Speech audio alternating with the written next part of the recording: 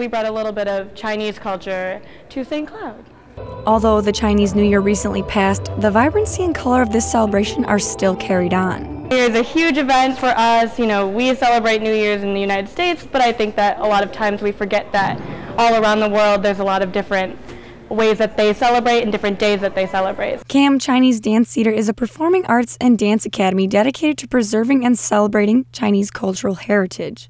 A different feeling whether you're performing a dance from northern or southern China. So um, I guess visually people get to experience that more than just hearing or reading about it. And that visual representation comes through in the dancers' costumes. We have our costumes ordered from China, and usually we have very bright colors so that they show up on stage, and um, it's just very festive. Um, we have like reds to blues, depending on what we're trying to represent or recreate. But one of the most important aspects to these dancers is being able to share their heritage. I like representing China because I'm originally from there, so it's kind of fun to be able to connect to China from the U.S. And this dance tradition draws from more than 56 diverse ethnic groups and are based on traditions that are extending for more than 5,000 years. Megan Hedstrom, UTVS News.